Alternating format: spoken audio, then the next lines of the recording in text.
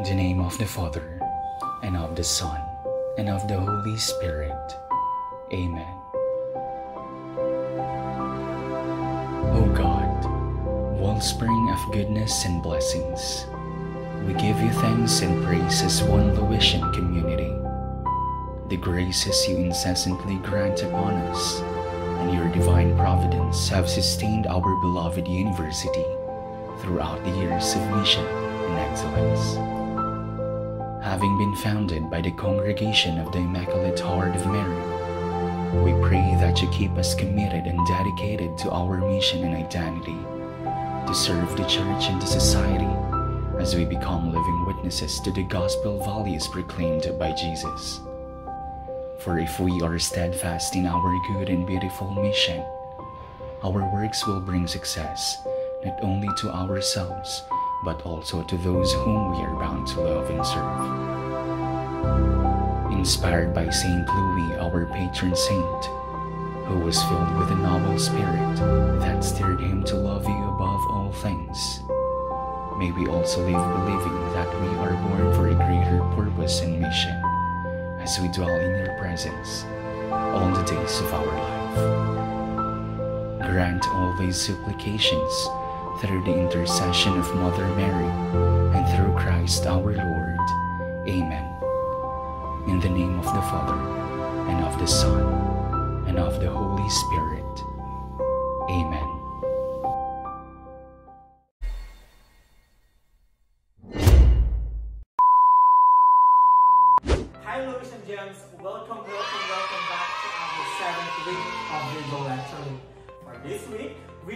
Going to talk about another masterpiece of 21st century from the Philippines and the world. But before anything else, let's have first our recap.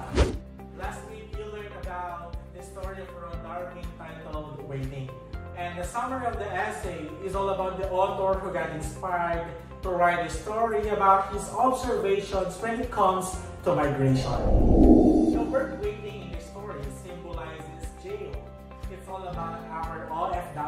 suffering from homesickness and suffocated from sadness because they are very far from their family.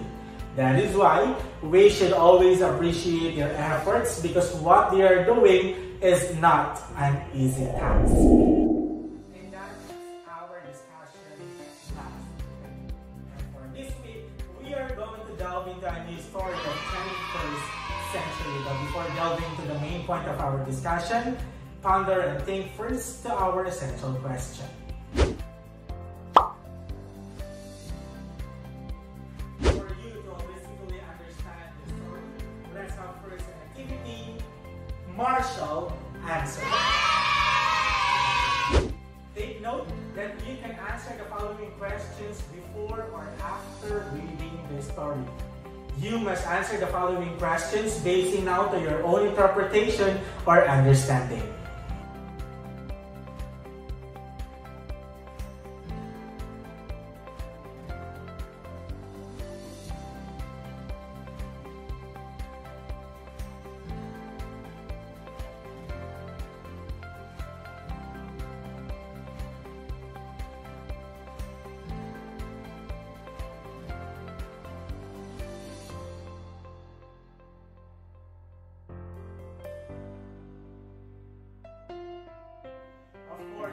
Cannot understand holistically the story without knowing the author. Presenting you the author of The Safe House, Mrs. Sandra Nicole Roldan.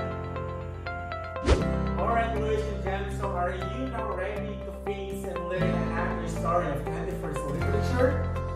If yes, let's now discuss The Safe House by Sandra Nicole Roldan.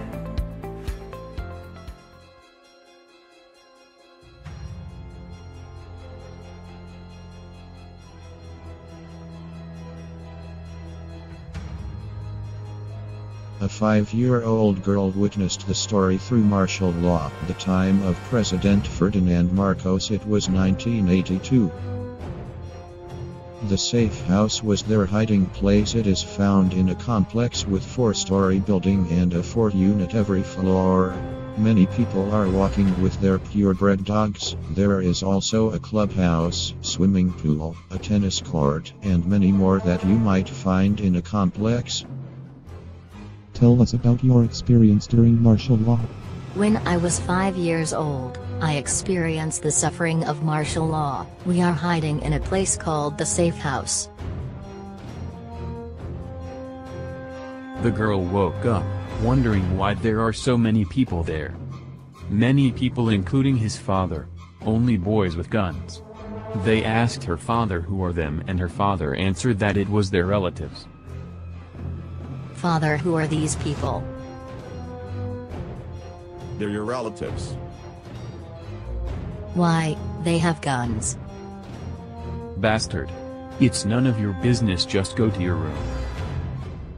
The father, with his companions planned a meeting on how they will stop the region of President Marcos in their complex.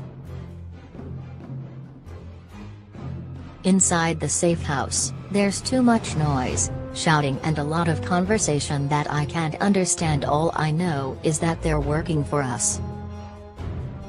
Her father with his co-revolutionaries was caught by the polices. Her mother is always crying quietly in the kitchen, sometimes when she was with her mother in the kitchen, she is listening to words she doesn't understand. Underground, revolution, taxes and bills, the mother leave the house soon after and she never returned.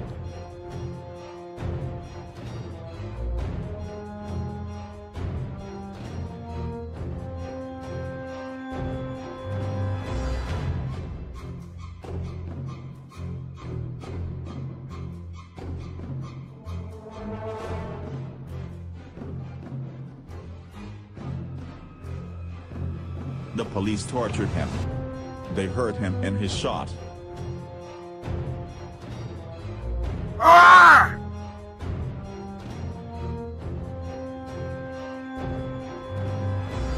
They plan for a plan B that will rescue his co-revolutionaries. They raided the police's place to save their friends.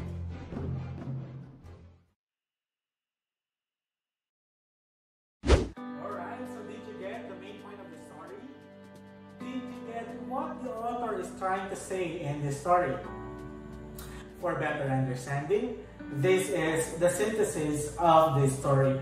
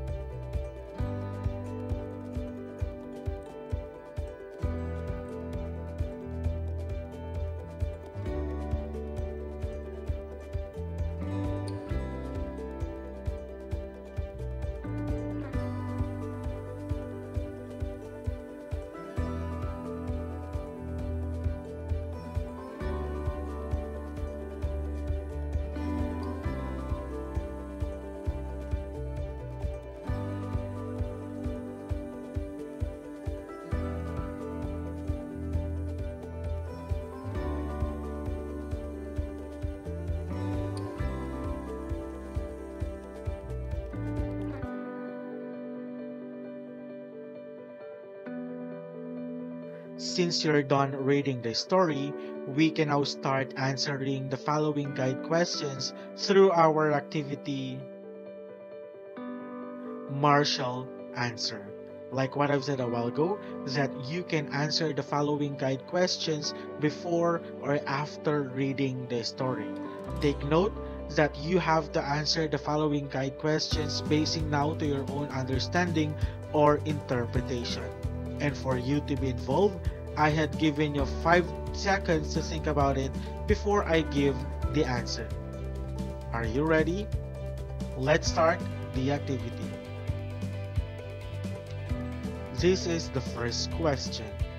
What is the dictionary meaning of safe house? You are given 5 seconds to answer the question.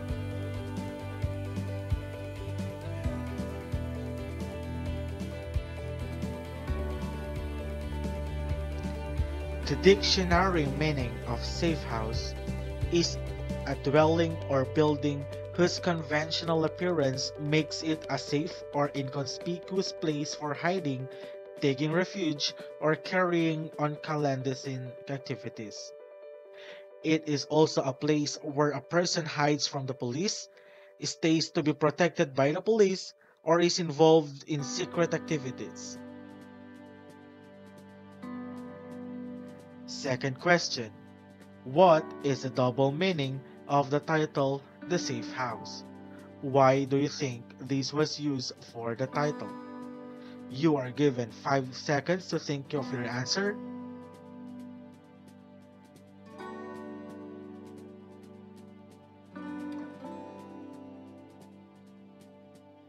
The double meaning of the title Safe House is first, the actual place where a person resides and finds comforts. The person may have an emotional attachment to it for it to be considered his or her safe house. Another meaning of an actual safe house is where you keep your valuable things to keep it away from being misplaced or taken away by another being.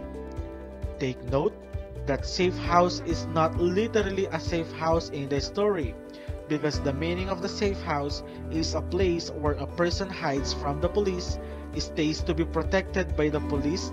In short, it is a hideout of rebellion who against the reigning of former president of the Philippines, Ferdinand Marcos.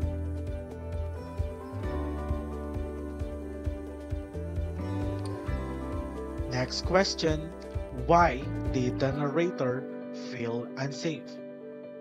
You are given 5 seconds to answer the question.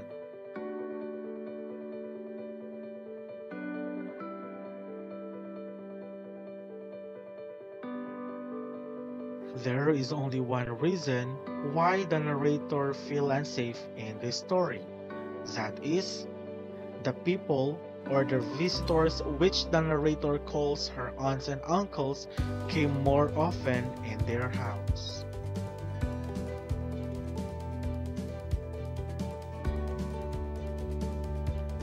Why did the mother leave? Do you understand the decision? Would you have left as well? Why or why not? You are given 5 seconds to answer the question.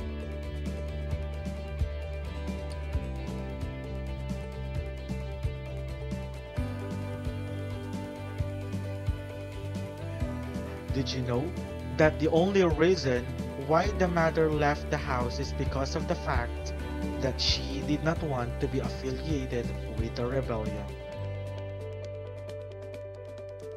Next question. Why did the man in the story have band-aids instead of nails? What does this imply about the visitors in the house? You are given 5 seconds to think of your answer.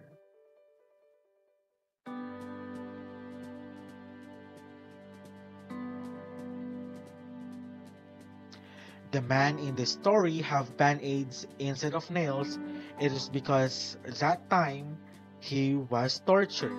And in the time of Marcos, removing nails is a form of torture. Last question. How does the narrator's view of martial law differ from her father's view? Why does she have a different point of view? You are given another 5 seconds to answer the question.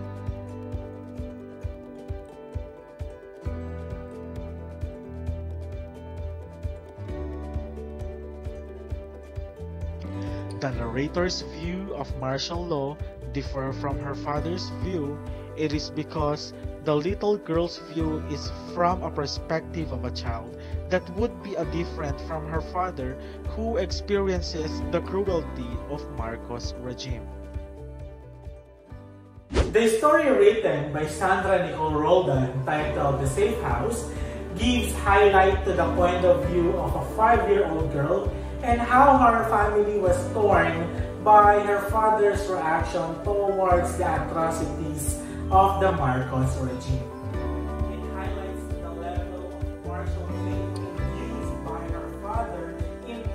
The political issues at that time. The little girls, in a sense, at that time shielded her from all her realities, like why her mother left, the seemingly strange visitors in the night, and eventual arrest and detention of her father. It shows an accurate description in the lack of understanding on the part of the little girl during that.